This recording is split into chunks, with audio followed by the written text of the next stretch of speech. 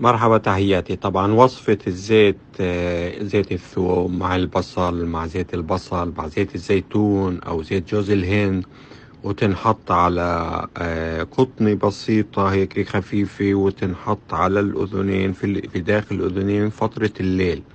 بعد عملية غسل الأذن في المياه الفاترة وتنظيفها في هاي الحالة بنحط هذه القطنة.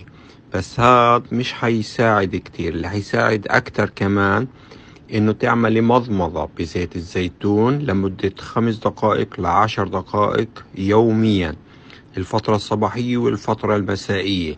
المضمضة هاي بتعتمد إني أحط ملعقة من زيت الزيتون في ثمي وأصير أحرك في هالزيتات وزيت الزيتون داخل ثمي مع عمل حركات للرقبة اللي أفتح القنوات اللي بتنزل من الأذن للبلعوم وللحلق لسقف الحلق. وعندك جيوب أنفية محتقنة إذا استخدمي ملعقة منقوع من لبان الذكر أو الصمغ العربي أو اشربي قرنفل أو استنشق الأعشاب زي البصل ممكن تستنشقيه. المياه مع البصل مغلي البصل تبخيرة البصل. ممكن تستنشقي القرنفل تبخيرة القرنفل الزعتر تبخيرة الزعتر كويس كتير لتفتيح الجيوب الأنفية وقتل البكتيريا وتخفيف الاحتقانات.